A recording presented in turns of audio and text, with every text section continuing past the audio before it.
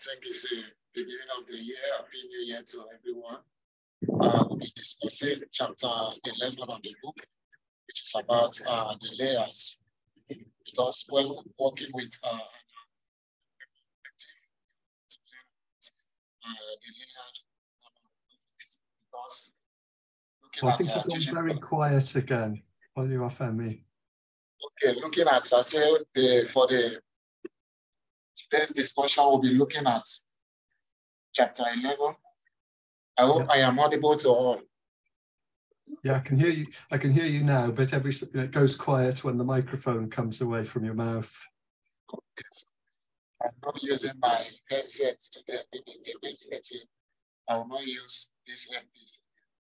So we'll be looking at chapter 11, which is about uh, layers.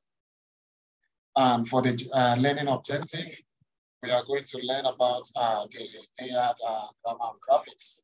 Because if you have been working with uh, ggplot2, you need to know that uh, the ggplot2 is built into several layers. So we are starting from building uh, visualization with ggplot2. We start from the ground up, that is from the ground up approach. And from the ground, then we start from data. From data, we are going to go into area where we talk about the statistics, talk about uh, geometry.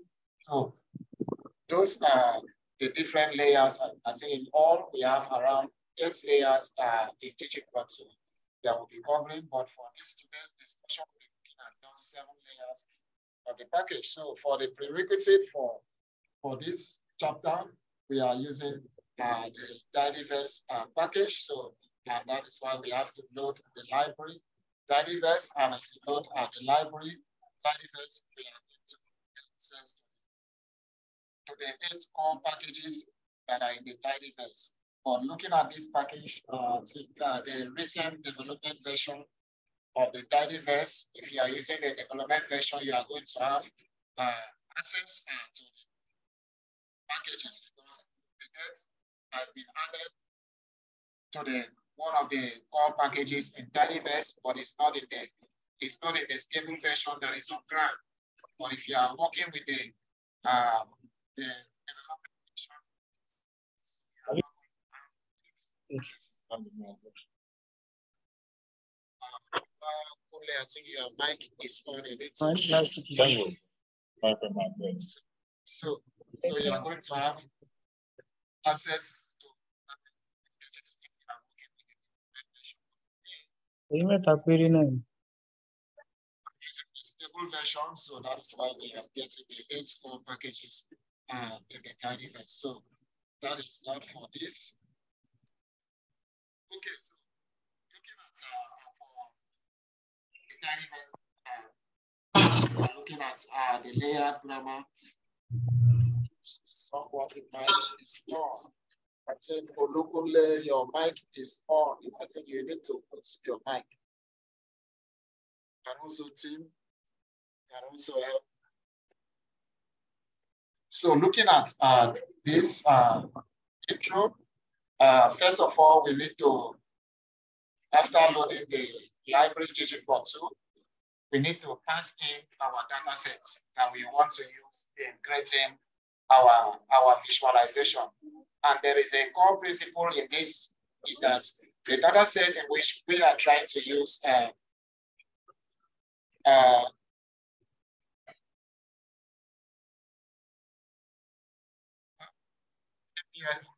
Can you hear me well? Or should I, is it okay now, the mic, the audio?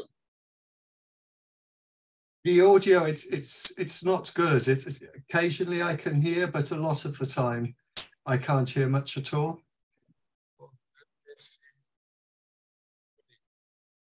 Oh, oh, I see, I see, I see. I think it'll be okay now. It was my mic was low, I think. Is it okay Yeah. now? Um, it's it's not brilliant to be honest. I mean, I, I can hear you now.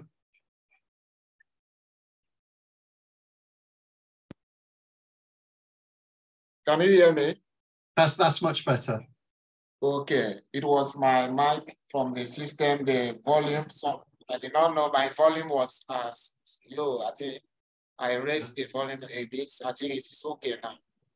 I say first uh, thing when we are working with this is that we need to we need to pass in our data set to the ggplot functions. And this data set in which we are trying to use in creating a visualization, uh, it has to be in a, a tidy format because if you are look ggplot2, if you are working with this package, uh, it works very well with the tidy data whereby each column is a variable, each row is an observation, each cell give you a unique value.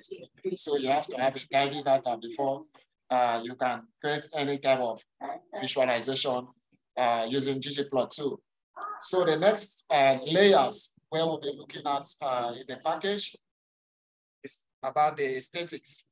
And in this aesthetics, it simply means that we are trying to link uh, variables that are in the data, variables that we have in our data, that is our data already, as I said, is a tidy data.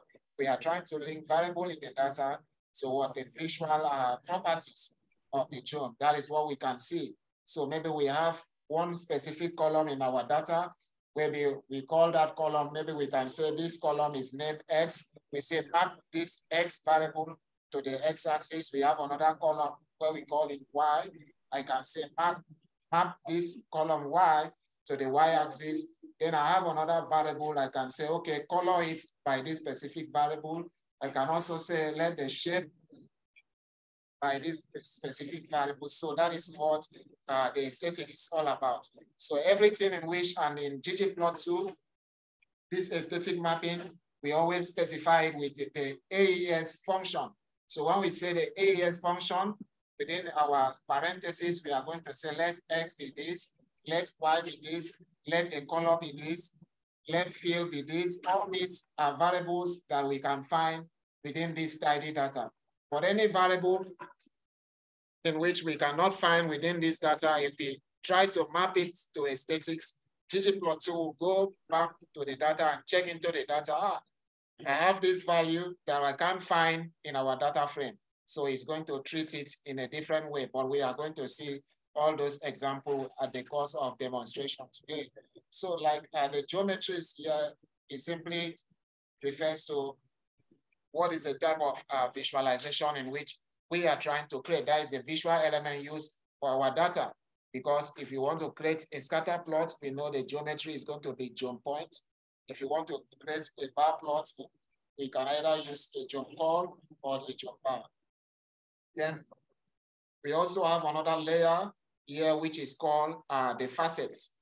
Uh, the, the facets is very useful because we can use it in creating small multiples of a plot because it's very important because facet help us to overcome problem of what we call overplotting because we can split our plots into the small multiples based on specific variables in which we can find uh, in which we can find in our in our data sets in which we are using to create our our visualization. We, we also have uh, and these facets they are grouped into two we have the facet wrap and we also have the, the facet grid. We'll see more on, on that when we are doing the actual demo. So we also have uh, the statistics.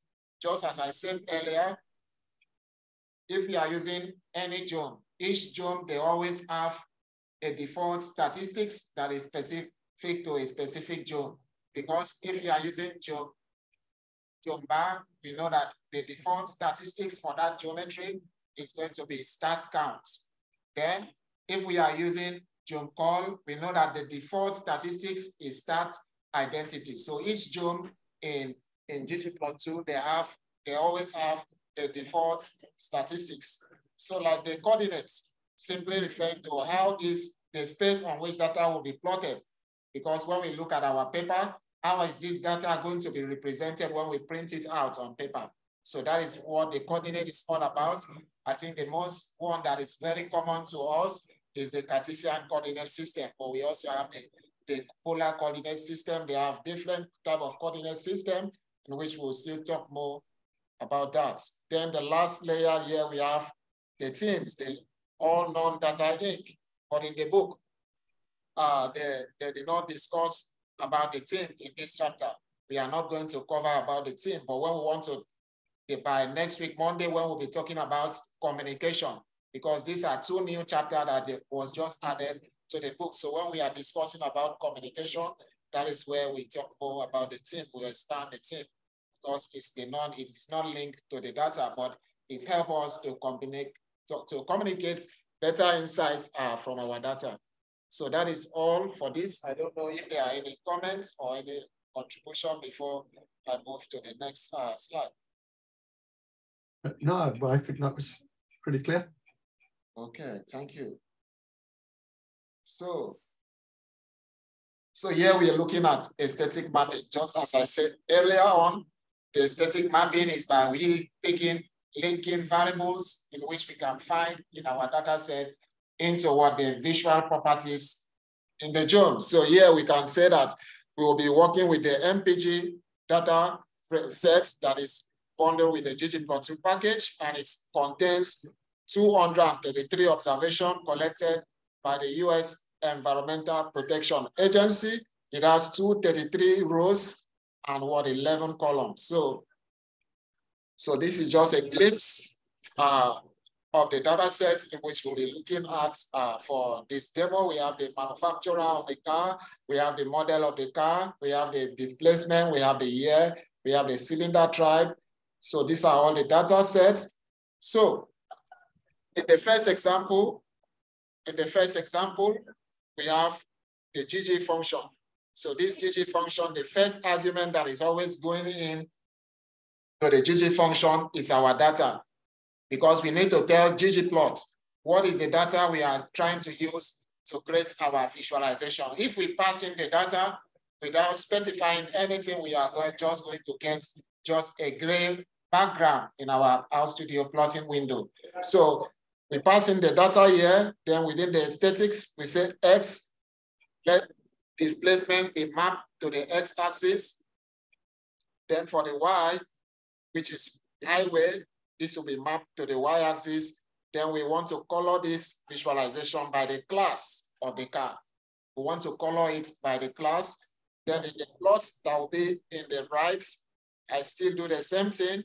I have my data, I have my static X and Y, but I use a different argument. I use a different mapping here. I use shape rather than color.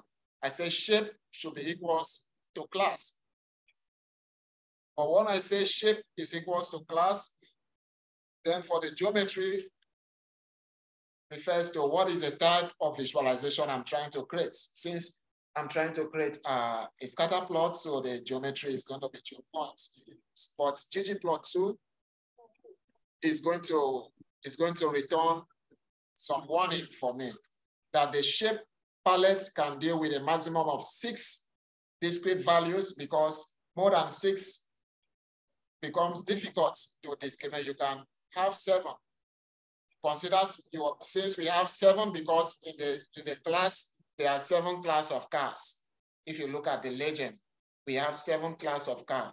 So they say specify the shape. We can do this by using scale shape manual, whereby we can go and look for seven manual shape that will suit those data set. In that case, we will not get this warning because, because of that, RStudio dropped seven, 62 rows were dropped because of this uh, shape argument. So when we look at the visualization, we can see the first plot, which is in the left, okay? And in that plot, we map displacement to X, we have highway uh, to the Y axis, we have color by the class, and we have geometry points, which is going to create uh, the scatter plot. But in the, in the right-hand side, is a similar plot, but the difference is that it, rather than we using uh, color, uh, mapping color to class, we are mapping shape to the class.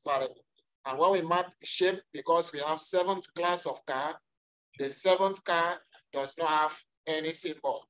You can see it in the legend because RStudio by default, by default, the program has been programmed with six shape you can, so when you have more than six shape, you consider using scale shape manual where you can specify uh, the six different shape, maybe the seven different shape that I have in my data set. I can go and look for the seven different shape that I can, that I can best use to present uh, my data. Okay, so that is that. So I say similar, we can also map class to size or alpha uh, aesthetic as well, because alpha is going to help us to control, I think, the transparency of the plots. So we can have the same plots. We can say less size equals to class. We are using the same geometry, which is going to be points. And in this case, the second plot on the right, we are using alpha equals to class. We are still using the same geometry. So, so when we do that, we can see uh, where we have uh, we can see that SUV uh, has the biggest class of it is SUV. Uh, the smallest, we have the two-seater. We can see where the two-seater, the live. Then the alpha here simply help us to reduce uh, the transparency, uh, reduce the transparency uh, in our visualization. So here, there are some instances where we want to create our visualization. We want to color all the points by a certain color. In this example, I color all the points by blue. In that case, since there is nothing in the data set that is blue, okay? So I can go outside of the aesthetic mapping. So I go outside of the aesthetic mapping and I now specify color is equals to within string, then I pass it blue. So in that case, ggplot2 is going to what color all the rows in the data set, or where we have all the points, is going to color all the points to be a, give it a blue color.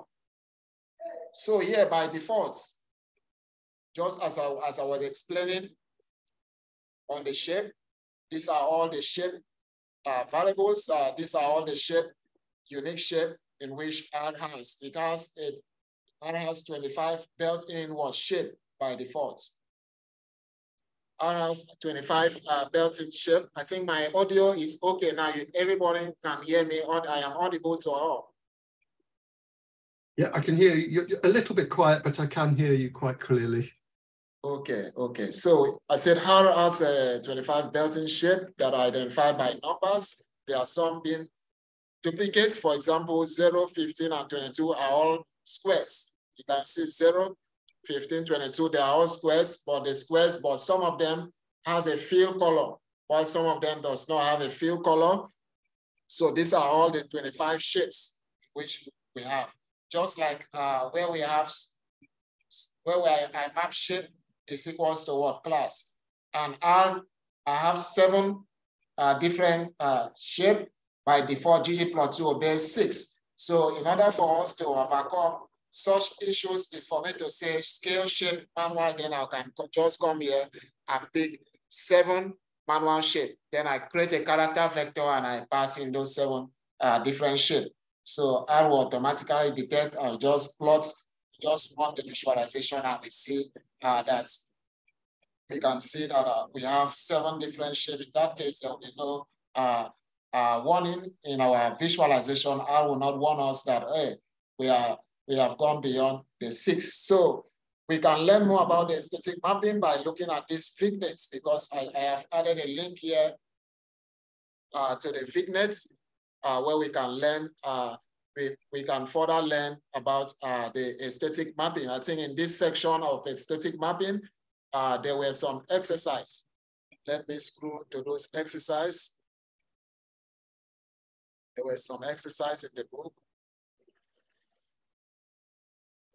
Okay, so the first exercise is that they say we should create a scatter plot of highway versus displacement, where the points are pink, filled in triangles. The points, they are what? Pink. They are filled in what? Triangles. So how do we do that? So already, can I share my R studio? Let me copy this. Then maybe we'll come back to this. Now, let me share another RStudio.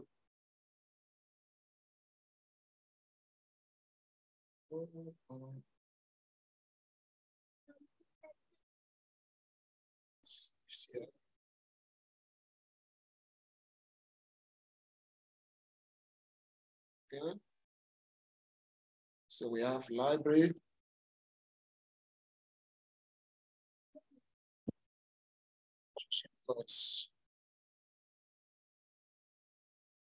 So we have ggplots. Data is MPG. Then we have aesthetics. They say where H WY is in the HWY is in the X. Y is this displacement where the points are big filled in triangle plus geo underscore points. Then shape is equals to, I think we have tri triangle. What do we have there? Okay, so we can see that we have this. But what is left? They said that the points, there should be what? Pink. Okay, then fill, they said fill in pink is equals to pink. Okay, so when we run that, I was working on this uh, two example, but when I say color is equals to pink, it's going to color the entire point pink. Okay?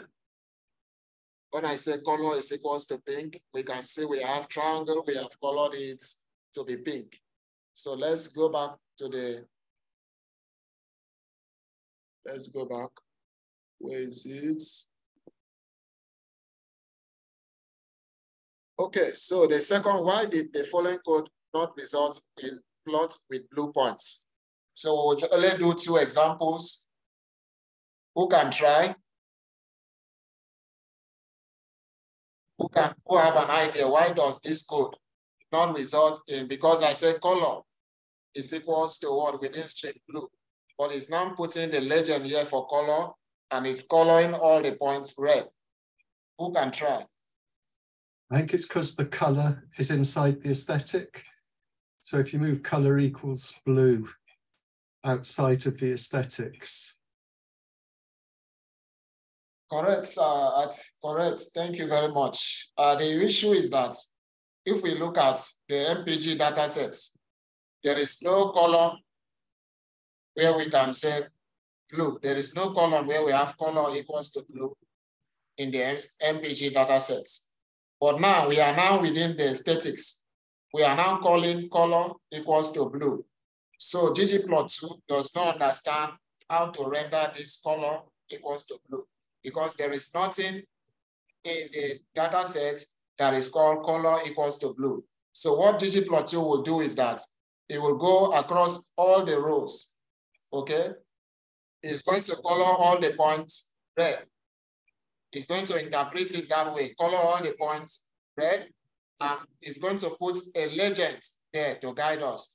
Anywhere we say color equals to blue, you know that anywhere you see color, anywhere you see red dots, know that we are having color equals to blue at that point. So that is how ggplot2 is going to render it. It's going to put a guide legend there for us. But if we specify this outside of the aesthetic mapping, ggplot2 is going to point, color all the points to be blue, just as we did earlier on in the, our previous example. So in this case, this, because this thing happened to me when I started learning ggplot2 at times, I want to I want to map a certain aesthetics. That aesthetic is not in my data set.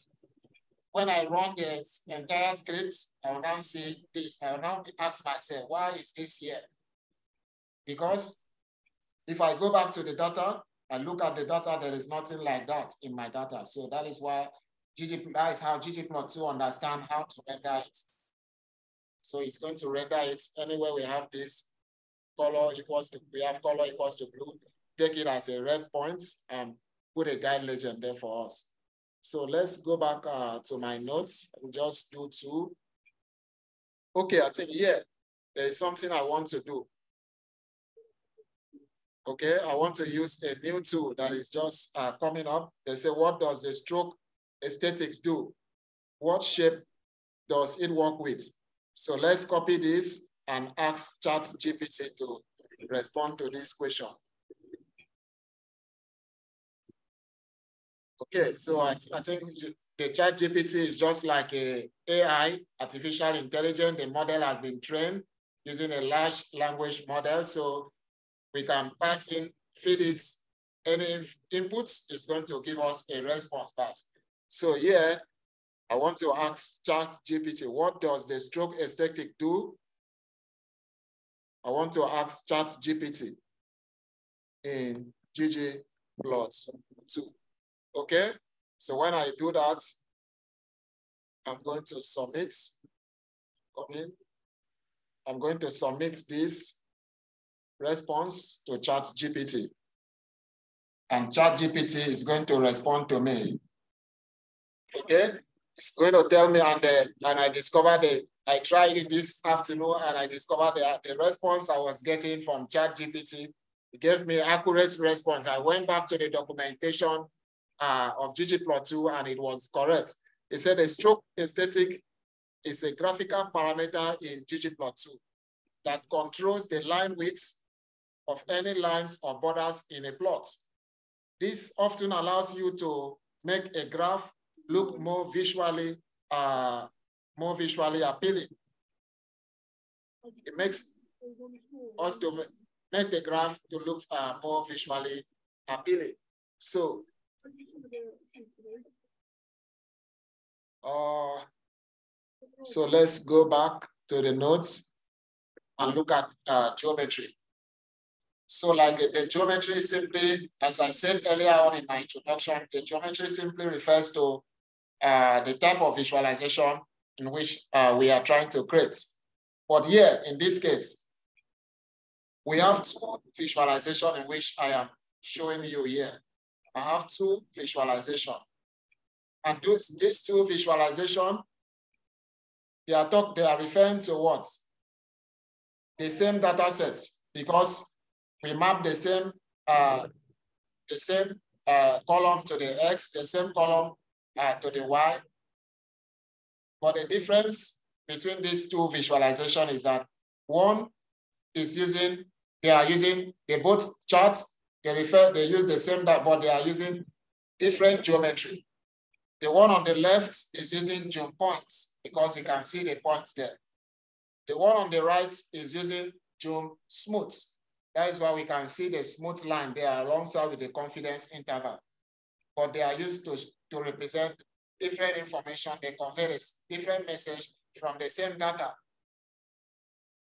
We can see we have displacement here. We also have displacement here. We have highway here, we have highway here. But the difference between these two is that this one is using uh, geom points. The geometry is geom points, while this other one is using uh, geom smooths. I don't know if there are any questions before we move to next slide. All good. Okay, thank you.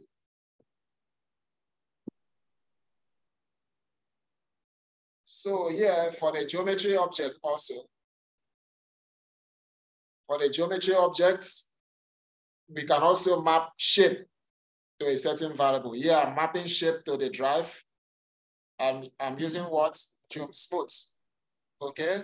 While here I'm using line type to the drive, I'm also using geom smooth. So when we look, compare the two uh, Compare the two visualization. This one we're using shape to the drive. This one we are using line type. It's going to put a guide there for us. You can see this line. You can put the line, but they, they are both using uh, they are both using the same geometry. Okay, but we, we are mapping different variable. Is the difference between the two is just by looking at the aesthetic mapping. This one we are using line type. While this other one, we are using shape. But they do represent the same information from the data, Why for this other example, we also have X displacement Y highway plus geom smooth. Why this other one, we are using group by drive. We are using group to, to drive. And for this other one, we are using show the legend force. So when we say show, anywhere we see in our visualization where we, we specify legend force, means that yes, we want ggplot2 to remove the legend. We want to turn off the legend for that particular visualization. We don't want to display the legend. So if I put show.legend force, it's going to remove uh, the legend for me. So these are the three different type of uh, visualization in which I have created because the last one is color. We color by drive. That is why we can see we have how many drive we have one, two, three, four drive. We can see the four different color there. We can see the first one here, we are, we are grouping by the drive and the, the, the, the second visualization we group by drive while the third visualization, we did not specify anything. We just add our geom smooth. We map X, Y plus geom smooth. This one, we are, we are grouping them by the drive. Why this, we are color, we are using color. We color it by the drive. So it's going to give us uh, this visualization. If you look at this code, if you look at this code, I was able to match all these figure in one page by using this PA, PA C 4411. This is going to make sure once I compile, because it's an R markdown, it's going to render it uh, in one page because I will still push all this to GitHub so you can you can just uh, clone that re GitHub repository. You can get access to the updated notes. But if you have already cloned it already, you just need to use uh, they use this package.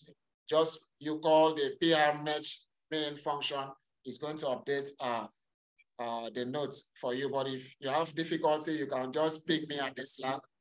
I will put you through, walk you through on how to update the notes.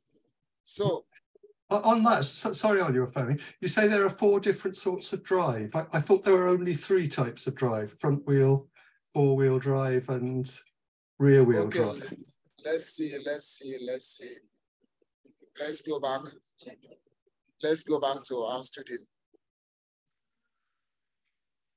uh, where is the nodes? Let's go back. So let's see str, it's an MPG, drive, it's a character, MPG dollar sign drive, let's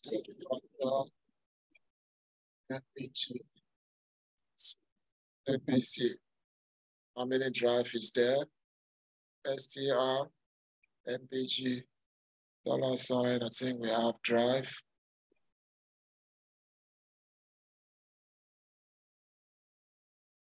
There are three levels. Yes, it's true. There are three levels. Let's go back to the notes. There are three levels. Thank you for that. Let's see why.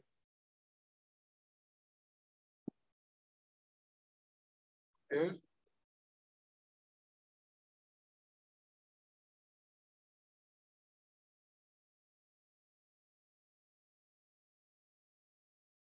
I think it's here. Yeah. X is displacement, Y is highway, displacement highway, okay. Costume, smooth aesthetics, color is equals to DRV, supposed to be three levels. Mm. Well, we have it four levels, yeah.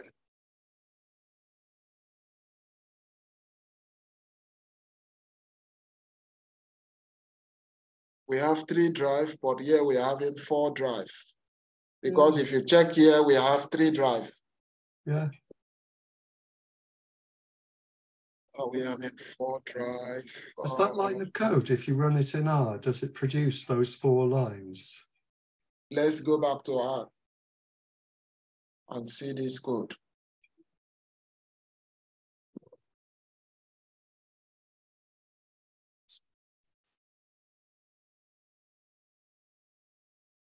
So let me just specify factor. Okay. Run and see. We got.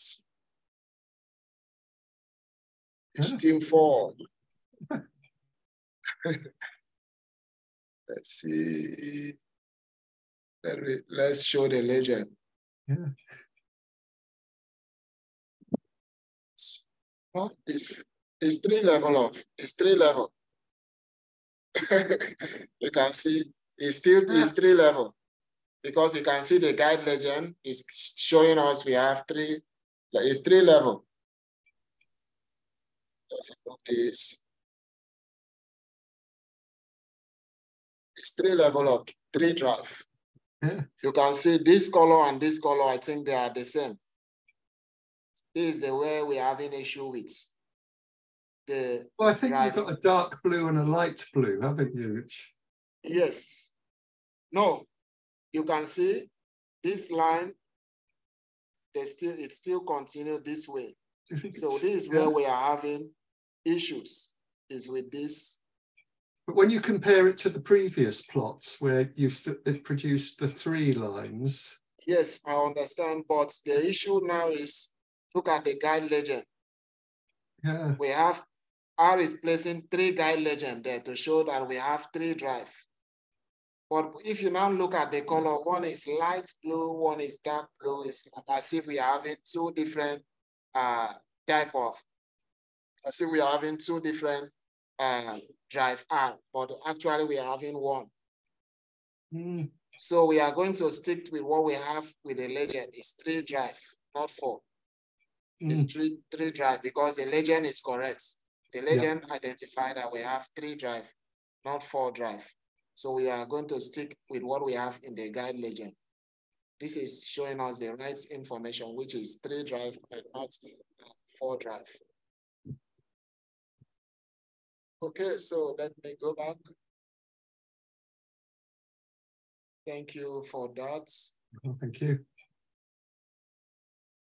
Okay, so I was trying to explain this, that there are some instances is that, just as I said earlier, the that ggplot2 is everything is built layer upon layer. So here, we are having the first layer where we map our data and we do, do our aesthetic mapping. We specify our geometry, which is points. Then here we specify another geometry, which is another point. But for this point, the data is MPG, still the same data we are using. But in that case, we are filtering for all the class that are two-seater, okay? And the color for that, we want all the color for that uh, point should be red. Then we are still adding another geom point. We are still using the same data. We want to still filter all the class where we have two-seater of cars. Then the shape. For the shape, we want to use circle open. Then the size. The size of the points, we said let it be three. Then the color should be red. So when we run, when we run, execute this line in RStudio, we are going to get this.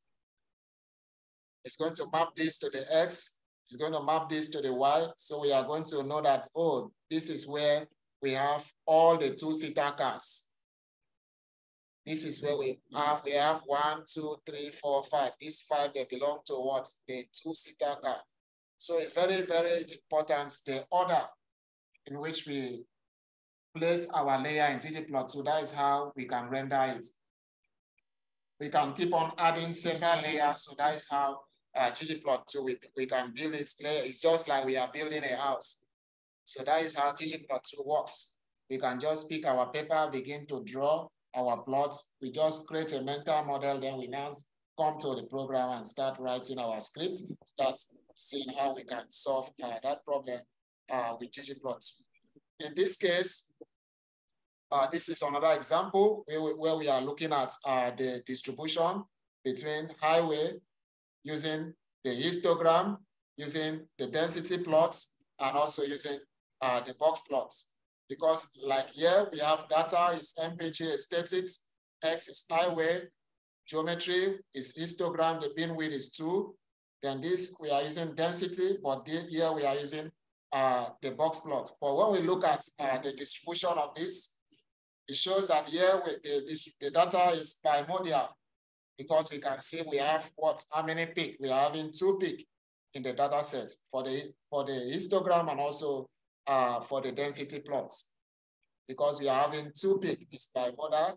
But when we look at the box plot shows us that we have two points that are far away, which we, we, we label those points uh, as the as our outliers. Those are outliers in the visualization.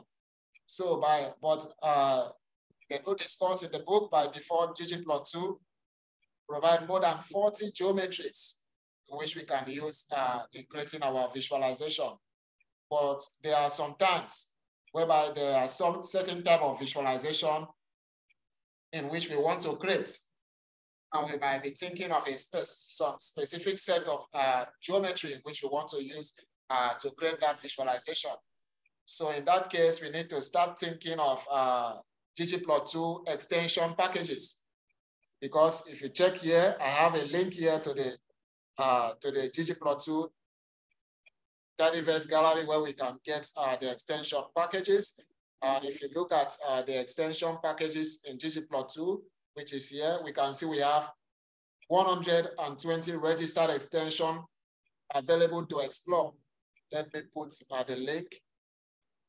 Let me put uh, the link in the chat. Come in so that you see it. Uh, let me put the link in the chat. The link. So you see it's there. Okay, so we have we have this. These are patchwork. Uh, this is gganimate, GG Start Plots. Uh, these are all the extension. They are I must confess to you, I have not worked with almost all the Jones, all these packages. But there are some times maybe I want to create some uh, specific visualization. I will start come here to read on the different packages to understand the documentation, how to use uh, the package because they all add different uh, extension features to ggplot2. But I always encourage that for you to, because there is a saying that uh, practice makes perfect. You need to put your hand in data. We need to keep on practicing this. Uh, take part in the Tidy Tuesday project that is always, if you go to Twitter, just hashtag Tidy Tuesday. I will encourage you to always uh, take part in the Tidy Tuesday uh, challenge. It's going to really help you uh, to, to improve uh, on your data visualization skill because like each week, they always post a specific data set where you can pick those data set, you, you apply all the techniques, all the skills that you have learned while reading the R for data science, you handle the data sets, then you, you visualize it and you post your find your results on Twitter. People are going to comment. So if you go there, you see different uh, different type of visualization. Each week, people different approach on how to uh, present data. So you learn you learn new thing each week. You From there, you can learn how to use all these tools that I'm showing, all these extension packages. They go far beyond this. You learn how to perfect yourself on how to use uh, uh, these packages. So, so what is there? So for the exercise, should we do the exercise? Because I'm looking at my time, I think let's proceed. Let's proceed. So for the facets, so for the facet, it's just like uh, we want to split our plot into what small multiples, just as I said earlier. We have, we want to split it into small multiple based on what certain categorical variables are that, that are being found in the data sets. So here we are having the data, we're still using the MPG that is from the, with the, came with the ggplot2 package. So the x-axis, we put the displacement, the y, the highway, then the geom point, then facet wrap. We want to wrap it uh, by cylinder, facet wrap, which is going to be based on row wise, so by all the cylinder. But when we have two categorical uh, variable, in which we want to facet our plot bar, okay? In that case, we can we'll make use of the what we call the facet grid. We can make use of the facet grid. So for us to really understand this, so let me copy this. I'll show this. Let's go back to RStudio. Go back to RStudio, Paste this here. So This is facet uh, facet grid. So when we run this, so when we run this, this is what we got, okay? This is what we got. So by default, the, the, the default scales in which uh, ggplot2 use is fixed, is using a fixed scale. But we can, we can choose to set the scale for both the rows and the column. We can set it to a free scale, whereby we allow it to vary based on the variability in which the, uh, we can get from the data sets. But we can also change this facet grid to facet wrap. When we do this, this is how this same visualization is going to look like. Okay, it's going to show this 4, 4, 4, 6, 4, 8. It's the same visualization. They are conveying the same message, showing difference in because here, this is a, this four refers to what the drive, this other four refers to what cylinder. This other four is still drive four, cylinder six, drive four, cylinder eight. So it's still the same thing we are showing. We can also leave it as facet grid. It's still the same graph. So it's for us to best know the best approach in which we can use uh, in showing, in presenting our own data. For me, I prefer when you have two categorical variable, I always use uh, the facet grids to avoid confusion, to make it clear for my viewers when they are reading the plot, to make it easy for them to follow along with me. Okay, so let me go back on to the notes.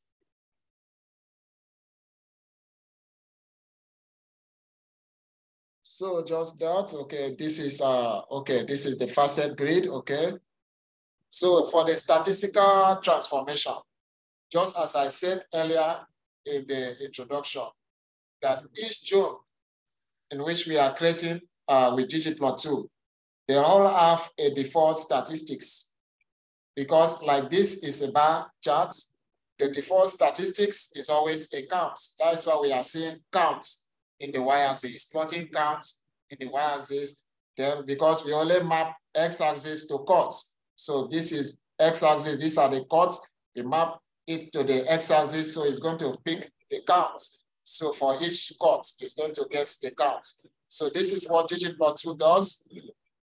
This is the data set, okay? We are mapping cuts. This is the cut. Fair, the number of counts for fair is 1,610. For good is 4,008. So it's going to do it this way. The proportion is just like one. So it's going to pick cuts and place it in the x-axis. It's going then alongside the y-axis is going to be plot the counts in the y-axis. So that is what is going on behind the scale. But if you have if you already have, okay, I think uh, Olukunle have a question. Uh, yeah, Mr. Femi, I want to ask a question as you When we were specifying S got to cut, if I'm right, sorry, why is got to cut? Why didn't we specify that? Why is why is it got to count? Why is got to count? S got to cut? Why not like that? We were doing it right from the beginning. No, it will not work like that. Yeah. You can just put so that there's background noise there.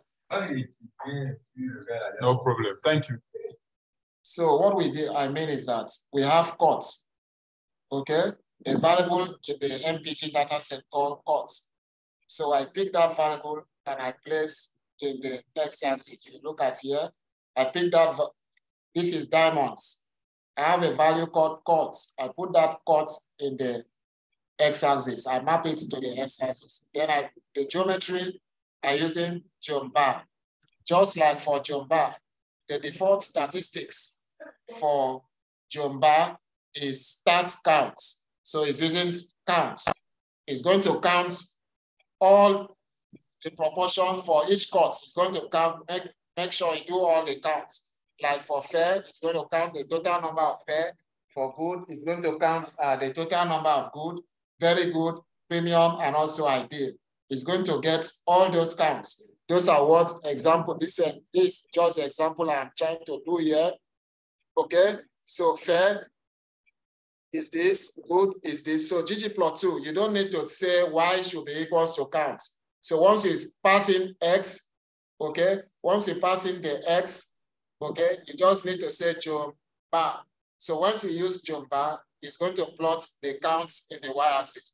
But for me to answer your question, if I go back to the notes, there is an example I want to use to answer that question so that it will be clear. If I go back to the notes, there is one example in which they did, or there is one example.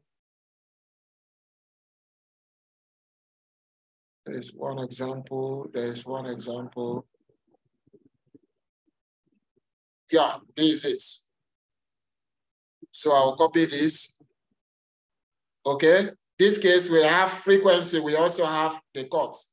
So let me go back to answer that Olukunle's uh, question, go back to RStudio. Okay. Then open my script. Paste it here. So run this. Uh, what is this?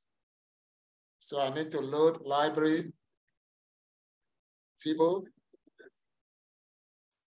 Okay. So we run that. We can view this in the house studio.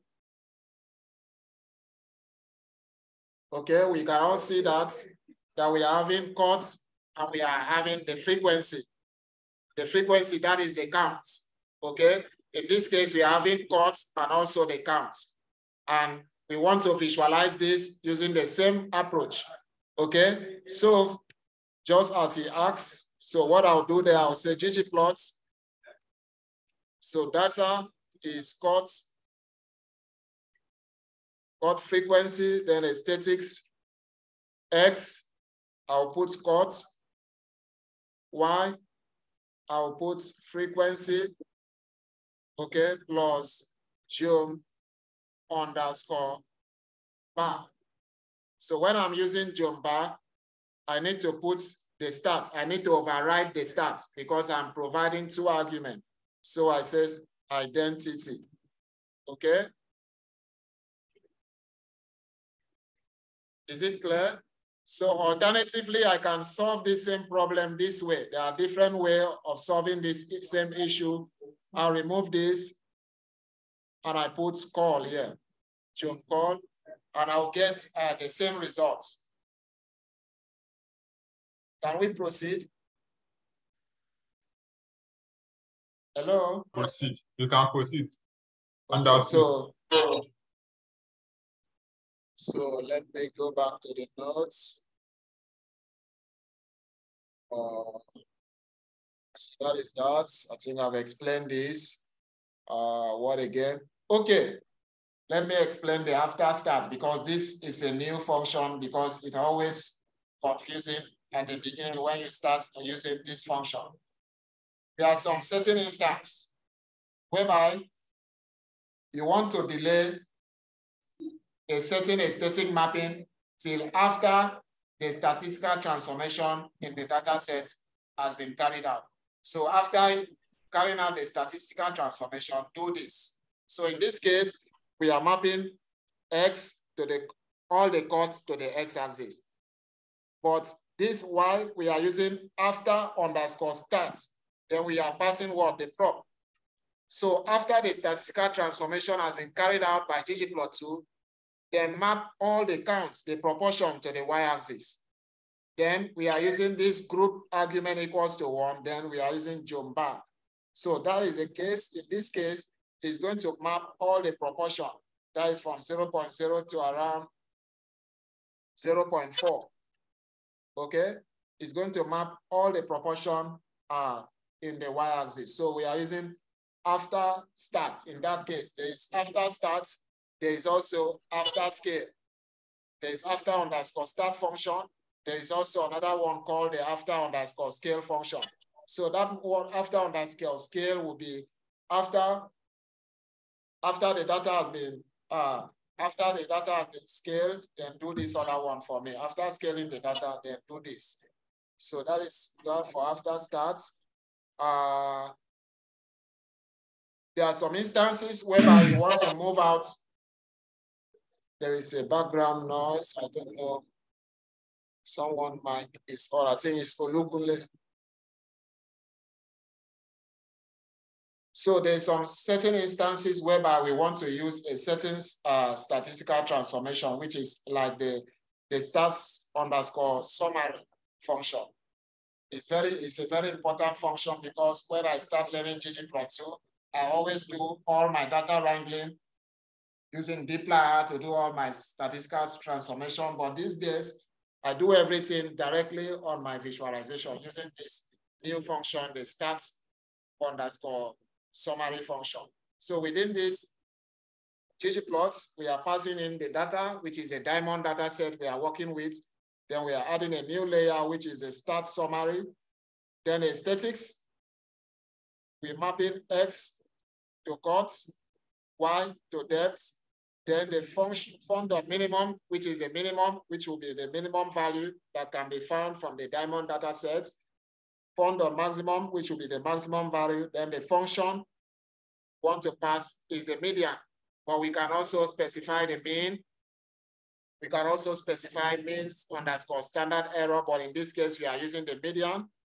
And if you, in this case, the default statistics uh, for stat summary, I think is geom point range. So it's just going to give us uh, the point range. So these dots represent uh, the median value. So it's going to give us the range, the minimum and the maximum value that can based on what we can see uh, from the data sets.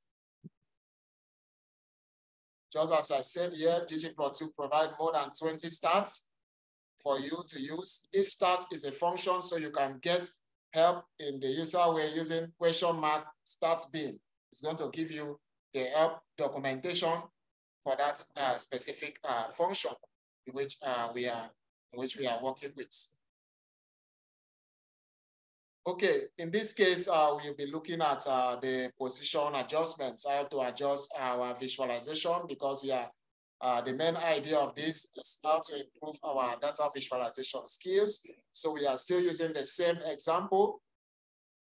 Here we are using color is equals to cuts because when we, and we are using geom bar, we are also using fill is equals to cuts and we are also still using uh, geom bar. We are still using the mapping the same variable in the x-axis. So when we say color is equals to what? Cut. So color means we are coloring the border of the bar plots. We want to color the borders of the bar plots uh, by the cut variable. But when we say fill is equals to cut, we are filling each bar by the cut variable, which is what we can see here. We are filling each of the bars uh, by the cut variable. But there are some instances whereby we can map fill to a different to a different color. Because here we are having X is called fill is equals to clarity plus geom bar. In that case, ggplot2 will automatically stack those bars for you. It will stack those bars for you, but it will automatically stack those bars. So, but for you to overcome this, maybe you want those bars to be placed side by side uh, there so you can say you can you can just say position is equals to what dodge. It's going to place those bar side by side for you. Or we can say position is equals to what field. In that case, it's going to plot uh, based on the proportions uh, that can be found in the data sets. But in this case, it always is always very difficult for us to read such visualization becomes very difficult for us to reach source because the points are so stacked on top each other. We cannot, it, it becomes dif difficult to view those uh, proportions. So for us to overcome that, we normally, we normally set the alpha, which will help us to what controls uh, the transparency of the plots. Because when we set the alpha is equals to one over five, we can see we further improve. Uh, we can easily see those star bars. We can see them clearly. Um, or we can also sell the field is equals to NA. When we set the field is equals to NA, just like the plot here, we can see we are the field, there is nothing there. We can see each of those stack bar clearly. It becomes very easy for us uh, to read it. But uh, they also discuss in the book that how, when we are, how do we overcome the problem of what overplotting? Because there are some time where we are, we are doing our visualization, our points, they are so cluttered on top each other. Okay, those points are so cluttered upon each other, which is become very difficult for us to read the plots. So in that case, we can pass in a new argument here within our geom point, which is position is equals to what jitter is going to what spread those points out for us. It's going to spread those points out for us, and it makes it very easy for us to read those plots and for us to derive more insights uh, from, uh, from our data visualization. I don't know if there are any comments now before we move to the next part. Any comments, any contribution about? Uh... No, that's fine, thanks. Okay, no problem. So I move to, oh, coordinate system.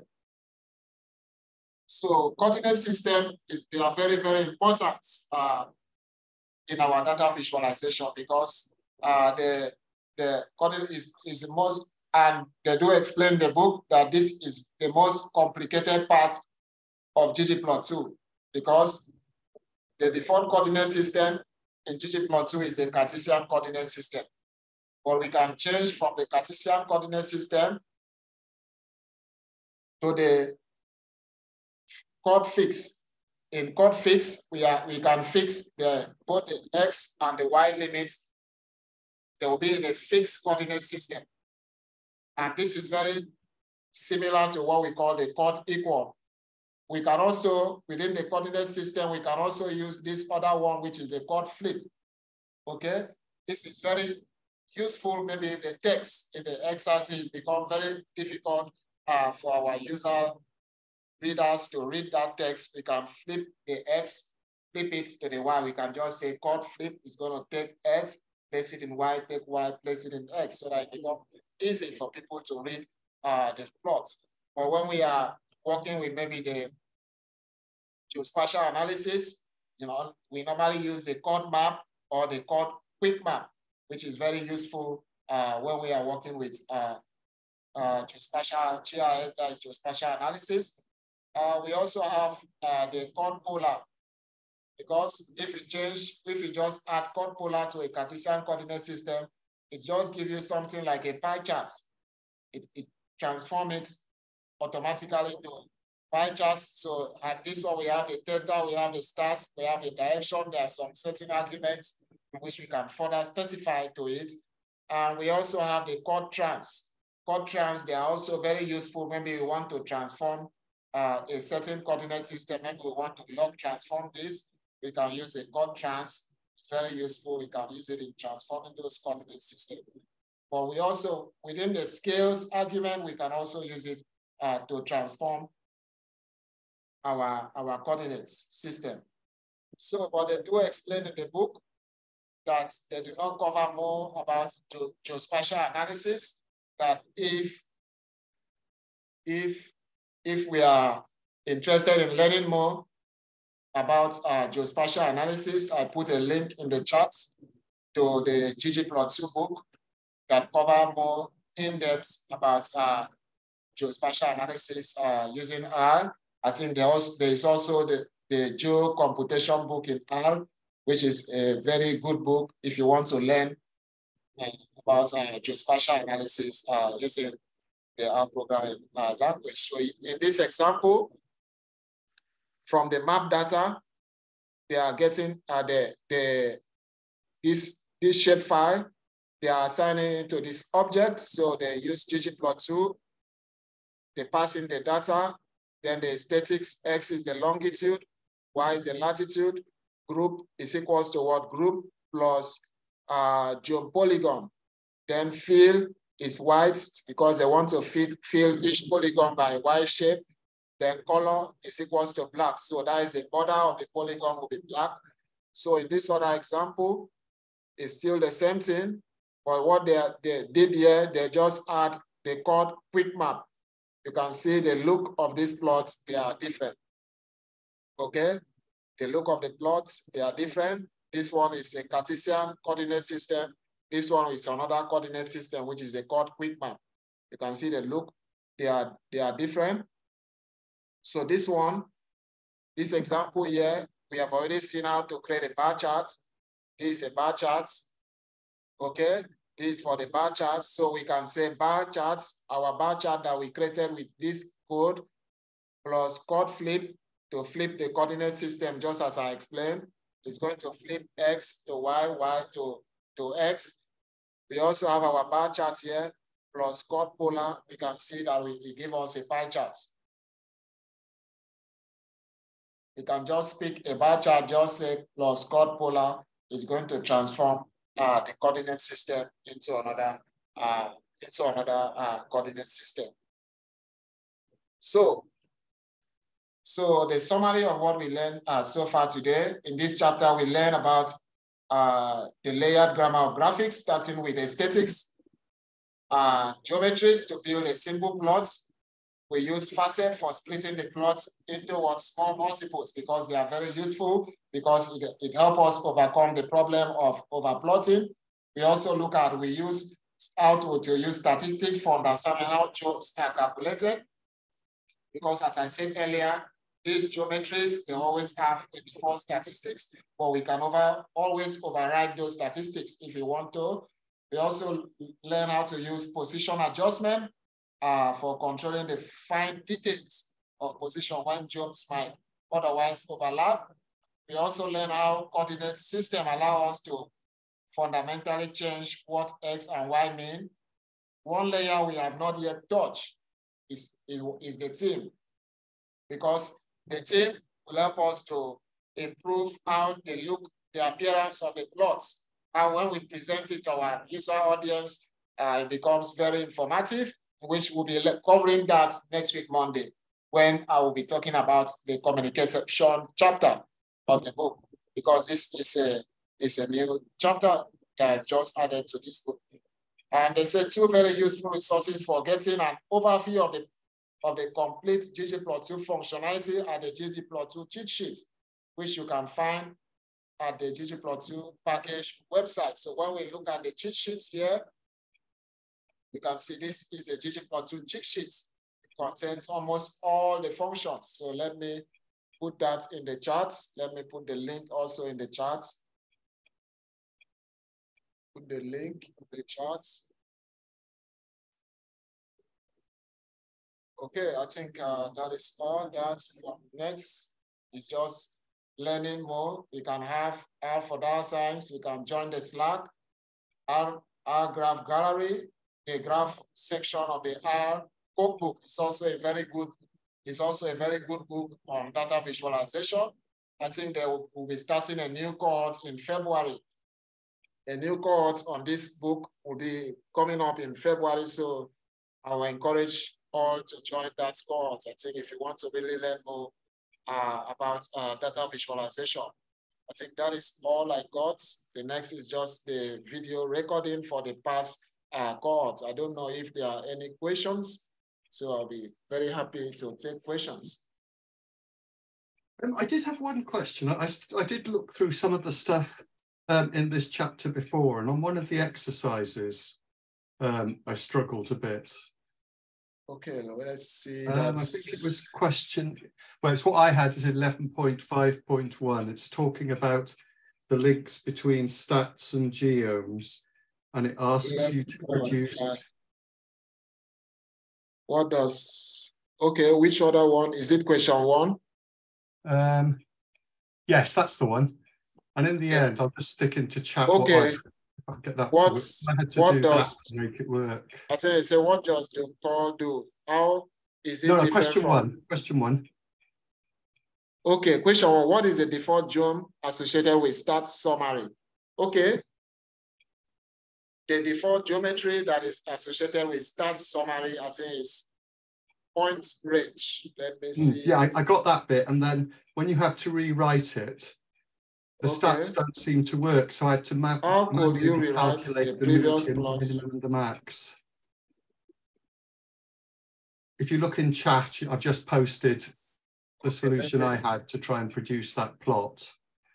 But it felt it it felt like I ought to be able to put Okay. in the functions. Let me copy it and go back to RStudio.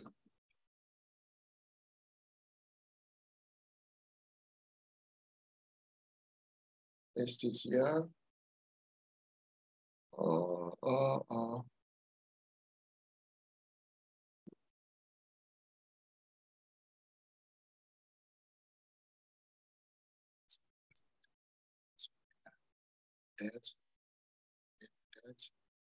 Okay, why now max that and then GG plots.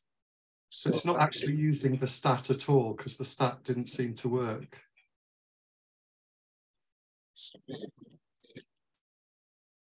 ID, yes.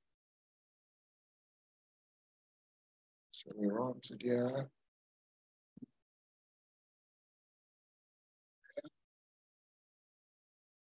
They say we should use geom point range. Yeah, so I've, I've got geom point range there. Statics, axis codes.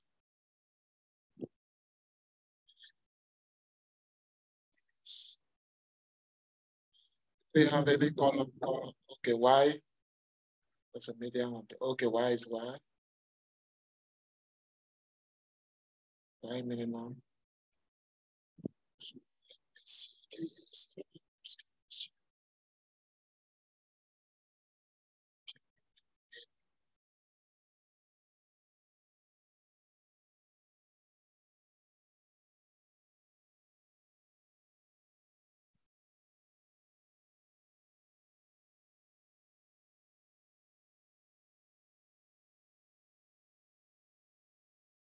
It's taking time. It's a bit slow. I mean, it works, but I've basically I've had to manually calculate the stats. I've Okay, not been able to, you know, I've not been able to use the stat um, that's associated with point range to calculate the median, the max, and the minimum. I've had to do it using, um, you know, adding columns. Okay. So uh, alternatively, I can just say, I think we have diamonds. It works, that is the result, and then GG plots, bar, plus start, that's for summary, then aesthetics, X, X is I think Y. Y is X. Is what they use points. Points. Range. Okay.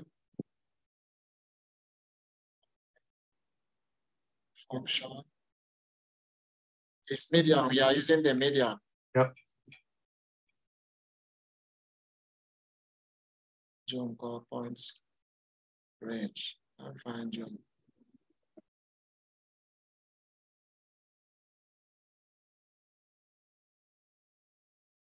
Okay, the default is points range already.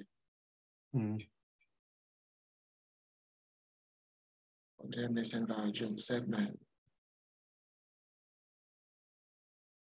Because I think geom point range seems to default to stat identity rather than Yes, that. Um, form dot maximum is maximum. Uh,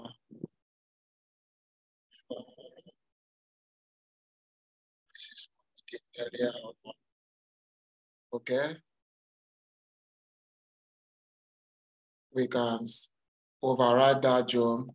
Since the default is point range, we can say, let's use points. Have you seen? I can override it to a different, since in the documentation. Oh, sorry. So since in the documentation, we have stats underscore summary. If we look at the default stats,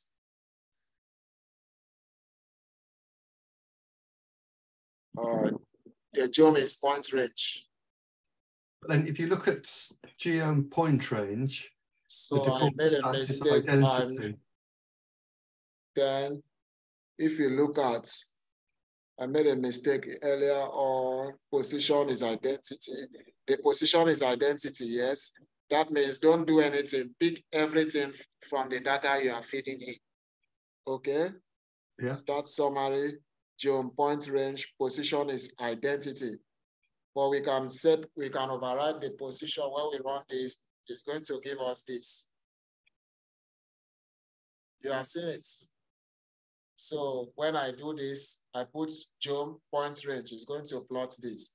But if you remove this and say geom should be points, it's going to just point, plot yep. the point there. And we can put color of the points to be equals to maybe red. Okay? Yep. It's going to make sure all those points, they are going to be red. So we can say points range color is red. So the color of the dots is going to be red. But when you say color, specify another categorical variable is going to put the legend for you. So if I say color it by the cut,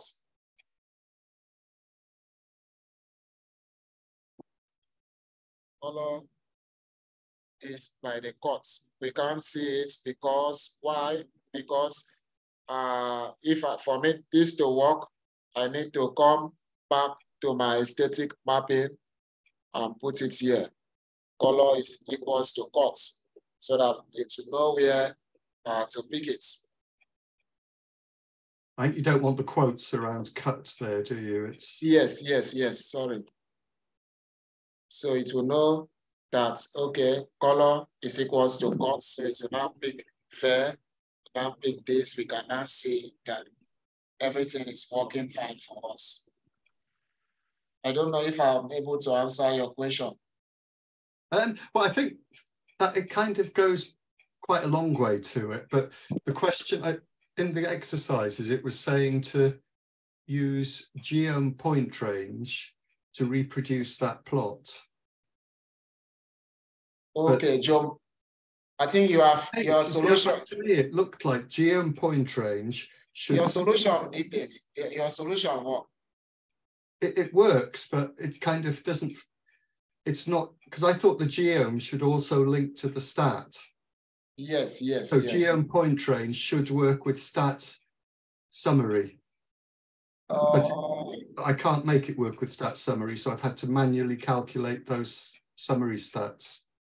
No, stat summary, the default job is point range. Yeah. That is what at for if you are using stat summary, the default geometry is always point range. It has been set at default. But for you to override that, you need to specify, you need to specify your own geometry before it will understand, okay, do yeah. it this way. Okay, so maybe if there are no time because we have far spent our time, this is 629. If you go, let me go back a year uh, in case you want to present anything. But in case you are not, I will still come back next week to, to discuss, I think, the, uh, the communication or discuss about the communication. But in case anybody is willing to present the chapter, you can just go up there and sign up for it yet. Yeah, just put your name there because that is the main uh, goal of the class is for everybody to come together as a group and learn uh, from each other as a group. So maybe if you are willing to present any chapter, you can just sign up for it. But if there is nobody to present, there is no issue, I will come back uh, next week, Monday, to present the chapter. So in case there are no questions, I thank you once again for your time. Thank so you. we'll see, we'll see next week. I hope everybody will join, be able to join by next week. Christine, Darling, and the rest, and uh, we are expecting them to join us uh, by next week. See you next week. Bye. Okay, thank you very much. Bye.